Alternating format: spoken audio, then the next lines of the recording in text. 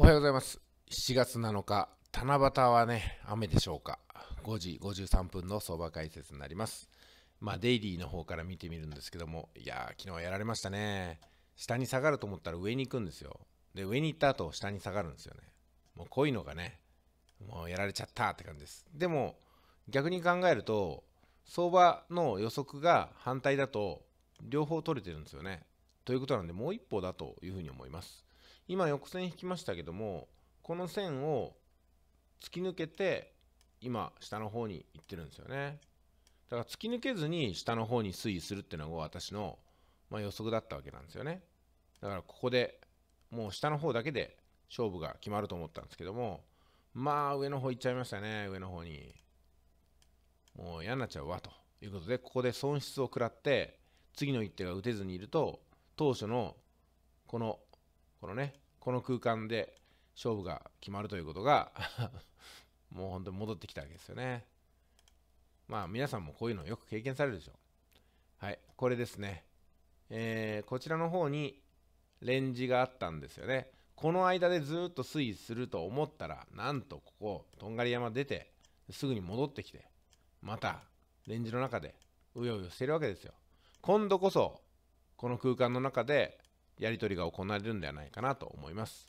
さあ、ではですね、1時間の方を見てみましょう。1時間の方を見てみると、そう、ずいぶん下がりましたよね。えーここで考えられるのが、小さなダブルトップということですよね。こことこことを結んで、大きく下に下がった。移動平均線も下に向かって広がっております。えーということなんでね、移動平均線でゾーンを考えたとき、このような形で、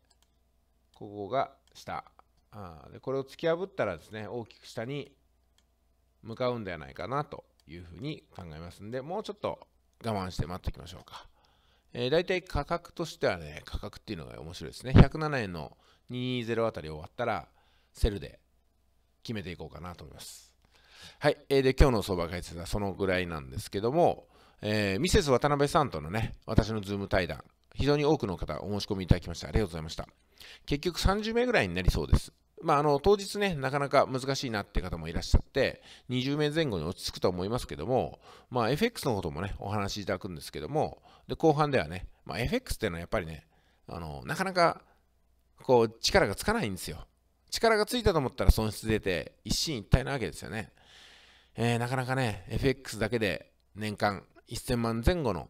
うん、利益を取るのっていうのは至難の技で、特に XM 証券という海外の証券口座開いてる場合は、半分ぐらい課税されますんで、たとえね、1000万儲けても500万ということで、え本当に FX だけで暮らしていくのっていうのは、うん、すぐにはうまくいかないです。私もまだ無理です。まあ、私もね、今、結局、毎月毎月20万前後の価値はあるんですけども、課税されれば10万前後ですからね。で、FX のいいところって、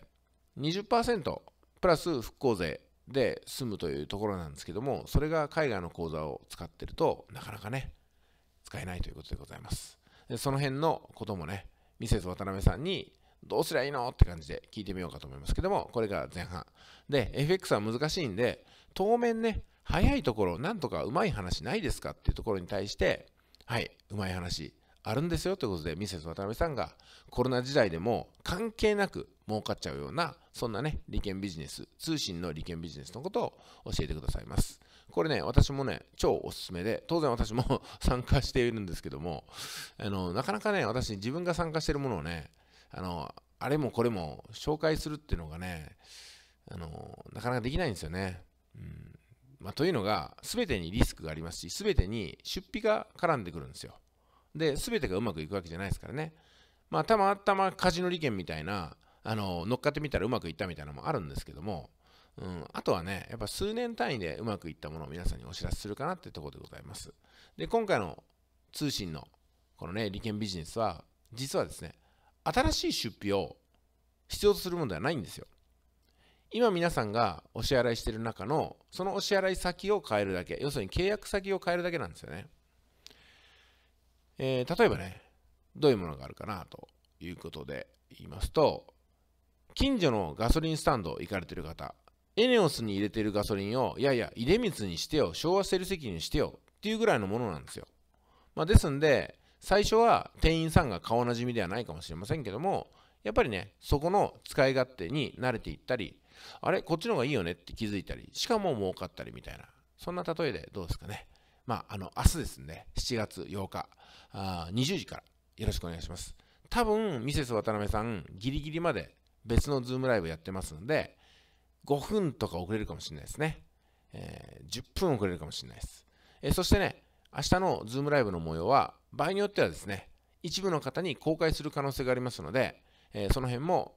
ご承知くださいませ。えー、ズームライブに出てる皆さんのね、表情の後ろが、なんかね、洗濯物が干してあったりとかしては見えちゃうんで、一応片付けて ご参加くださいね。それはお前だって私言われそうですけども、はい、私も片付けておきます。私の背景にはひよこちゃんがいる例が多いですけども、あれは許してもらおうかと思いますけどもね。それでは、明日お会いしましょう。